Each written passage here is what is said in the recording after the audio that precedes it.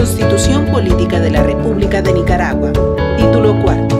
Derechos, deberes y garantías del pueblo nicaragüense. Artículo 36. Toda persona tiene derecho a que se respete su integridad física, psíquica y moral.